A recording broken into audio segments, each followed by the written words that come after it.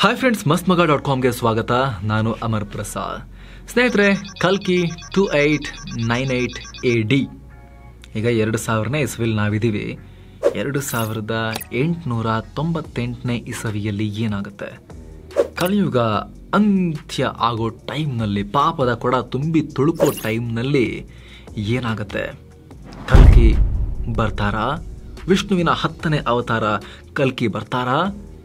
ಕಲಿಯುಗದ ಪಾಪ ಕರ್ಮಗಳ ಜೀವನಕ್ಕೆ ಮುಕ್ತಿಯನ್ನ ಕೊಡ್ತಾರಾ? ಇದು ಗೊತ್ತಾಗಬೇಕು ಅಂತ ಹೇಳಿದ್ರೆ ನೀವು ಸಿನಿಮಾವನ್ನು ನೋಡಬೇಕು. ಆರುನೂರು ಕೋಟಿ ರೂಪಾಯಿ ಖರ್ಚಲ್ಲಿ ಸಿನಿಮಾ ಮಾಡಿದ್ದಾರೆ. ಭಯಂಕರವಾದ ಸ್ಟಾರ್ ಕ್ಯಾಸ್ಟಿಂಗ್ ಇದೆ. ಅಮಿತಾಬ್ ಬಚ್ಚನ್ ಇದ್ದಾರೆ, ಪ್ರಭಾಸ್ ಅವರಿದ್ದಾರೆ. ಆಮೇಲೆ ದೀಪಿಕಾ ಪಡ್ಕೋಣ್ ಇದ್ದಾರೆ, ದಿಶಾ ಪಟಾಣಿ ಇದ್ದಾರೆ, ವಿಜಯ್ ದೇವರಕೊಂಡ, ದುಲ್ಕರ್ ಸಲ್ಮಾನ್, ರಾಜಮೌಳಿ ಕೂಡ ಚೂರು ಬಂದು ಹೋಗ್ತಾರೆ. ಭಯಂಕರ ನಟರುಗಳ ದೊಡ್ಡ ದಂಡೆ ಇದೆ. ಬ್ರಹ್ಮಾನಂದಂ ಇದ್ದಾರೆ. ಇವರು ಎಲ್ಲರೂ ಈ ಸಿನಿಮಾದಲ್ಲಿದ್ದಾರೆ. ಸಿನಿಮಾ ಹೇಗಿದೆ ಕೇಳಿದ್ರೆ ಗೂಗಲ್ ರಿವ್ಯೂಸ್ ತೆಗೆದು ನೀವು ನೋಡಿದ್ರೆ ಎಲ್ಲರೂ ಅದ್ಭುತವಾದ ರೇಟಿಂಗ್ ಕೊಟ್ಟಿದ್ದಾರೆ. ಗಂಟೆ ಗಂಟೆಗೂ ಸಾವಿರ, ಎರಡು ಸಾವಿರ ರೇಟಿಂಗ್ ಜಾಸ್ತಿ ಆಗ್ತಾನೆ ಹೋಗ್ತಾ ಇದೆ. ಫೋರ್ ಪಾಯಿಂಟ್ ಏಯ್ಟ್ ಈ ಥರ ಇದೆ ಫೈವ್ಗೆ ಆ ರೀತಿ ರೇಟಿಂಗ್ ಜನ ಕೊಡ್ತಾ ಇದ್ದಾರೆ ನೋಡಿದವರು. ಬಟ್ ಥಿಯೇಟರ್ ರೆಸ್ಪಾನ್ಸ್ ತಗೊಳ್ಳೋ ಟೈಮ್ನಲ್ಲಿ ತುಂಬ ಜನ ಅಲ್ಲಿ ಹೋಗಿ ಥಿಯೇಟ್ರಲ್ಲಿ ರೆಸ್ಪಾನ್ಸ್ ತಗೊಳ್ತಾರೆ. ಅಲ್ಲಿ ಮಿಕ್ಸೆಡ್ ರೀತಿಯ ರಿವ್ಯೂಗಳನ್ನು ಕೊಡ್ತಾ ಇದ್ದಾರೆ. ಹಾಗಾದರೆ ಸಿನಿಮಾ ಎಲ್ಲರಿಗೂ ಇಷ್ಟ ಆಗೋ ಸಿನಿಮಾನ? ಅಥವಾ ಇದಕ್ಕೊಂದು ಪರ್ಟಿಕ್ಯುಲರ್ ಟೇಸ್ಟ್ ಬೇಕಾ ಸಿನಿಮಾ? ಇಷ್ಟ ಆಗೋಕೆ? ಅನ್ನೋ ಪ್ರಶ್ನೆ ನಿಮ್ಮನ್ನು ಕೂಡ ಕಾಡ್ತಾ ಇರ್ಬೋದು. ಸ್ನೇಹಿತರೆ, ನಾನು ಸಿನಿಮಾ ನೋಡ್ಕೊಂಡು ಬಂದೆ. ಕನ್ನಡದಲ್ಲಿ ಹುಡುಕಿ ನಾನು ಸಿನಿಮಾವನ್ನ ನೋಡ್ಕೊಂಡು ಬಂದೆ. ಯಾಕಂದ್ರೆ ಈ ರೀತಿ ಕನ್ನಡದಲ್ಲಿ ಮಾಡೋದೇ ಅಪರೂಪ. ಇವ್ರು ಹೆಂಗಿದ್ರು ತೆಲುಗಲ್ಲೇ ನೋಡ್ಕೊಳ್ತಾರೆ ಬಿಡ್ರು. ಕರ್ನಾಟಕದವರು, ವಿಶಾಲ ಹೃದಯದವರು ಇವರು. ಇವ್ರು ಹೆಂಗಿದ್ರು ಹಿಂದಿಲೇ ನೋಡ್ಕೊಳ್ತಾರೆ ಒರಿಜಿನಲ್ ನೋಡೋರು ಇವರು. ಅಂಥೇಳಿ ಮುಂದೆ ಯಾವ ಸಿನಿಮಾ ಮೇಕರ್ಸ್ ಕೂಡ ಕನ್ನಡದಲ್ಲಿ ಮಾಡೋದೇ ಇಲ್ಲ, ನೋಡಿಲ್ಲ ಅಂದರೆ ನಾವು. ಸೊ, ನಾನು ಕನ್ನಡ ಇರೋ ಶೋವನ್ನೇ ಹುಡುಕಿ ಹೋಗಿ ಕನ್ನಡದಲ್ಲಿ ಮಾಡಿರೋದನ್ನ ನೋಡ್ಕೊಂಬಂದೆ ಡಬ್ಬಿಂಗ್ ಏನು ನಿಮಗೆ ಪ್ರಾಬ್ಲಮ್ ಅನ್ಸಲ್ಲ? ಏನೋ ಸೆಕೆಂಡ್ ಗ್ರೇಡ್ ಪ್ರೊಡಕ್ಷನ್ ಅಂತ ಅನಿಸಲ್ಲ? ಅದ್ಭುತವಾಗಿ ಡಬ್ಬಿಂಗ್ ಮಾಡಲಾಗಿದೆ. ಒಂದು ಪ್ರಾಬ್ಲಮ್ ಅನ್ಸೋದೇನು ಅಂತ ಹೇಳಿದ್ರೆ, ಅಶ್ವತ್ಥಾಮನ ಯಂಗರ್ ವರ್ಷನ್ ಮಹಾಭಾರತದ ಕಾಲದಲ್ಲಿದ್ದ ಅಶ್ವತ್ಥಾಮನ ಕ್ಯಾರೆಕ್ಟರ್ ಮಾಡಿರೋ ಮನುಷ್ಯ ಬಾಯಲ್ಲಿ ಗುಡ್ಕ ಇಟ್ಕೊಂಡು ಮಾತಾಡ್ದಂಗೆ ಅನಿಸಿದೆ. ಪಾನ್ಪರ ಗಿರಾಕಿ ಮಾತಾಡ್ದಂಗೆ ಅನಿಸಿದೆ. ಆ ಒಂದು ಡಬ್ಬಿಂಗ್ ಪೋರ್ಷನ್ ಬೇಕಂತ ಮಾಡಿದಾರೋ ಏನೋ ಅಂತ ಗೊತ್ತಿಲ್ಲ. ಅದನ್ನು ಅದೊಂದನ್ನು ಹೊರತುಪಡಿಸಿದ್ರೆ ಉಳಿದಿದ್ದು ಎಲ್ಲೂ ಕೂಡ ಒರಿಜಿನಲ್ ಫೀಲ್ ಇಲ್ಲ ಅಂತ ಅನಿಸೋದೇ ಇಲ್ಲ. ಅಷ್ಟು ನೀಟಾಗಿ ಕನ್ನಡದಲ್ಲಿ ಡಬ್ಬಿಂಗ್ ಮಾಡಿದ್ದಾರೆ. ಸಿನಿಮಾ ಫಸ್ಟ್ ಹಾಫ್ ಸೆಟಪ್ ಮಾಡೋಕ್ಕೆ. ಯಾಕಂದರೆ ಇದು ಫ್ಯೂಚರ್ ಎರಡು ಸಾವಿರದ ಎಂಟುನೂರ ತೊಂಬತ್ತೆಂಟನೇ ಇಸವಿ ನಾವು ನೋಡಬೇಕು. ಅಲ್ಲಿಗೆ ಹೋಗಬೇಕಲ್ಲ. ಆ ಸೆಟಪ್ ಮಾಡೋಕ್ಕೆ ಟೈಮ್ ತಗೊಂಡಿದ್ದಾರೆ. ಮಹಾಭಾರತದ ಕುರುಕ್ಷೇತ್ರ ಕದನದಿಂದಲೇ ಮೂವಿ ಆರಂಭ ಆಗಿದೆ. ನಾನು ಮಹಾಭಾರತಕ್ಕೆ ಸಂಬಂಧಪಟ್ಟಂತೆ ಅಥವಾ ಪುರಾಣಗಳಿಗೆ ಸಂಬಂಧಪಟ್ಟಂತೆ ನೋಡಿದಂತಹ ಬೆಸ್ಟ್ ಪ್ರೆಸೆಂಟೇಷನ್ಗಳಲ್ಲಿ ಒಂದು ಅಂತ ನಾವು ಇದರ ಓಪನಿಂಗನ್ನು, ಈ ಮೂವಿಯ, ಕಲ್ಕಿ ಮೂವಿಯ ಓಪನಿಂಗನ್ನು ಕನ್ಸಿಡರ್ ಮಾಡ್ಬೋದು ನನ್ನ ವೈಯಕ್ತಿಕವಾಗಿ ನನಗೆ ಹಾಗನ್ನಿಸ್ತು. ಅಷ್ಟು ಅದ್ಭುತವಾದ ಪ್ರೆಸೆಂಟೇಷನ್ ಇದೆ ಮೂವಿಯ ಓಪನಿಂಗ್ನಲ್ಲಿ. ಅದಾದಮೇಲೆ ಸೀದಾ ಕಲಿಯುಗಕ್ಕೆ ಬಂದು ಕಲಿಯುಗವೂ ಕೂಡ ಅಂತ್ಯದ ಹಂತಕ್ಕೆ ಎರಡು ಸಾವಿರದ ಎಂಟುನೂರ ತೊಂಬತ್ತೆಂಟನೇ ಇಸವಿಯ ಹತ್ರಕ್ಕೆ ನಾವು ಹೋಗಬೇಕಲ್ಲ. ಕುರುಕ್ಷೇತ್ರ ಯುದ್ಧ ನಡೆದು ಆರು ಸಾವಿರ ವರ್ಷಗಳ ನಂತರದ ಸನ್ನಿವೇಶಗಳನ್ನು ನಾವು ನೋಡಬೇಕಲ್ಲ. ಆಗಿನ ಕಾಲ ಹೇಗಿರುತ್ತೆ ಅನ್ನೋದನ್ನು ಸೆಟಪ್ ಮಾಡೋಕ್ಕೆ ತುಂಬ ಜಾಸ್ತಿ ಟೈಮ್ ತಗೊಂಡಿದ್ದಾರೆ ಅಂತ ಅನಿಸ್ತು. ಆದರೆ ಎಂಡ್ ತನಕ ಮೂವಿ ನೋಡಿದ್ಮೇಲೆ ಅದು ಜಸ್ಟಿಫೈಡ್ ಅಂತ ಅನಿಸ್ತು. ಅದು ಬೇಕಾಗಿತ್ತು ಅಂತ ಅನ್ನಿಸ್ತು. ಫಸ್ಟ್ ಹಾಫ್ ನೋಡಬೇಕಾದ್ರೆ ಇಷ್ಟೊಂದು ಯಾಕಪ್ಪ ಡ್ರ್ಯಾಗ್ ಮಾಡ್ತಾ ಇದ್ದೀರಾ? ಬೇಗ ಬಂದ್ರಿ ಪಾಯಿಂಟಿಗೆ ಅಂತ ಅನ್ಸುತ್ತೆ. ಬಟ್ ಮೂವಿ ಎಂಡ್ ತನಕ ನೋಡಿದ ಮೇಲೆ ಅದೆಲ್ಲ ಬೇಕಿತ್ತು ಅಂತ ನಿಮಗೆ ಅನಿಸುತ್ತೆ. ಯಾಕಂದ್ರೆ ಇದು ಒಂದು ಮೂವಿ ಅಲ್ಲ, ಇದರ ಪಾರ್ಟ್ ಟೂ ಕೂಡ ಇದೆ. ಅರ್ಧ ಮೂವಿ ಮಾತ್ರ ನೀವೀಗ ಥಿಯೇಟರ್ನಲ್ಲಿ ನೋಡೋದು. ಫುಲ್ ಮೂವಿನೇ ಆದರೆ ಕತೆ ಅರ್ಧ ಮಾತ್ರ ನೋಡೋದು. ಇನ್ನು ಅರ್ಧ ಕತೆ ನೆಕ್ಸ್ಟ್ ಪಾರ್ಟ್ನಲ್ಲಿ ಬರುತ್ತೆ.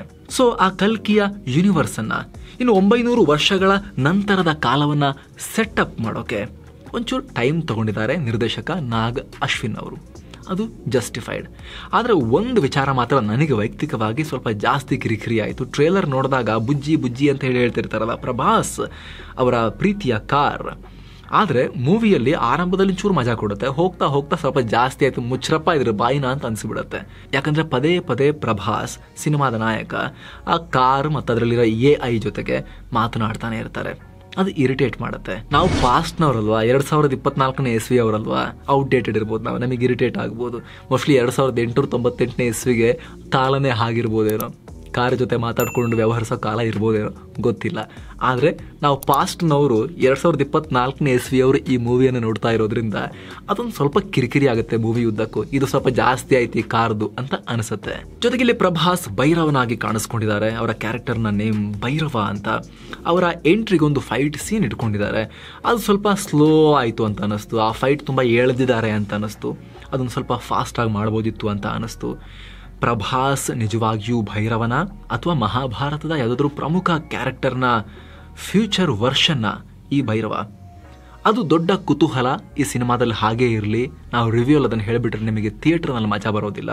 ಅದನ್ನು ಥಿಯೇಟ್ರಲ್ಲಿ ನೋಡಿನೇ ಎಂಜಾಯ್ ಮಾಡಿ. ಬಟ್ ಆಲ್ರೆಡಿ ಅಶ್ವತ್ಥಾಮರ ಕ್ಯಾರೆಕ್ಟರ್ನಲ್ಲಿ ಮಾಡಿರೋದು ಅಮಿತಾಬ್ ಬಚ್ಚನ್ ಅವರು ಅಂತ ನಿಮಗೆಲ್ರಿಗೂ ಗೊತ್ತಾಗಿದೆ. ಹಾಗಾಗಿ ಅದರ ಬಗ್ಗೆ ಏನು ಕುತೂಹಲ ಇಲ್ಲ. ಹಾಗಾಗಿ ಹೇಳ್ತಾ ಇದ್ದೀವಿ, ಅಮಿತಾಬ್ ಬಚ್ಚನ್ ಅವರು ಅಶ್ವತ್ಥಾಮನ ಕ್ಯಾರೆಕ್ಟರ್ನಲ್ಲಿ ಅದ್ಭುತವಾಗಿ ನಡೆಸಿದ್ದಾರೆ. ನಮಗೆ ಈ ಹಿಂದೆ ಎಲ್ಲ ಸುಮಾರು ಈ ಪೌರಾಣಿಕ ಸನ್ನಿವೇಶಗಳನ್ನು ಬೇರೆ ಬೇರೆ ಸೀರೀಸ್ಗಳಲ್ಲಿ ಮತ್ತು ಈ ಸಿನಿಮಾಗಳಲ್ಲಿ ನೋಡಿದ ಮೇಲೆ ನೆಕ್ಸ್ಟ್ ಆ ದೇವರನ್ನು ನೆನೆಸ್ಕೊಂಡಾಗ ಅಥವಾ ಪೌರಾಣಿಕ ಕ್ಯಾರೆಕ್ಟರ್ ನೆನೆಸ್ಕೊಂಡಾಗ ಆ ವ್ಯಕ್ತಿಗಳ ಮುಖವೇ ಕಣ್ಮುಂದೆ ಬರುತ್ತಲ್ವಾ?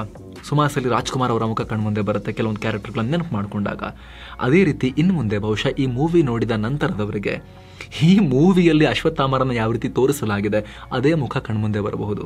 ನಿಮಗೆ ಅಮಿತಾಬ್ ಬಚ್ಚನ್ ಅಂತ ಅದನ್ನ ಡೈಜೆಸ್ಟ್ ಮಾಡ್ಕೊಳ್ಳೋಕೆ ತುಂಬಾ ಹೊತ್ತಾಗುತ್ತೆ. ಅಷ್ಟು ಈ ವಯಸ್ಸಲ್ಲೂ ಕೂಡ ಅಮಿತಾಬ್ ಬಚ್ಚನ್ ಅವರು ಆ ಕ್ಯಾರೆಕ್ಟರ್ನ ಒಳಗೆ ಸೇರಿಕೊಂಡು ಅಶ್ವತ್ಥಾಮನ ಕ್ಯಾರೆಕ್ಟರ್ಗೆ ಅದ್ಭುತವಾಗಿ ಜೀವ ತುಂಬಿದ್ದಾರೆ. ಏನು, ಕಮಲ್ ಹಾಸನ್ ಒಂದು ವಿಚಿತ್ರ ವಿಲನ್ ಕ್ಯಾರೆಕ್ಟರ್ನಲ್ಲಿದ್ದಾರೆ. ಆ ಕಮಲ್ ಹಾಸನ್ ಅವರು ಕೂಡ ಗುರುತೇ ಹಿಡಿಯೋಕ್ಕಾಗಲ್ಲ.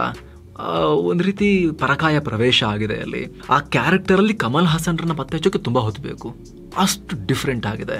ಅಷ್ಟು ಅದ್ಭುತವಾಗಿದೆ ಅವರ ಅಪಿಯರೆನ್ಸ್ ಆ ಕ್ಯಾರೆಕ್ಟರ್ನಲ್ಲಿ ಏನು, ಆ ಕಮಲ್ ಹಾಸನ್ರ ಆ ಅಪಿಯರೆನ್ಸ್ ಹಿಂಗೆ ಅವ್ರ ಮೇಲಕ್ಕೆ ಹೋಗೋದು.